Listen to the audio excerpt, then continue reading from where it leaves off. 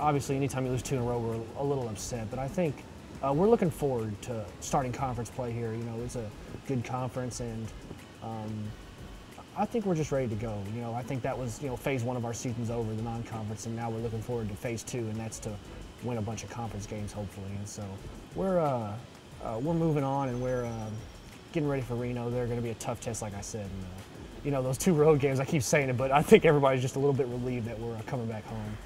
This is kind of my first year, and I'm starting to, you know, understand the rivalry and how big it is. So I, am pretty sure it's a big game for them, and it's also a big game for us. We need to win, you know, win our first conference game and, you know, get things going for us.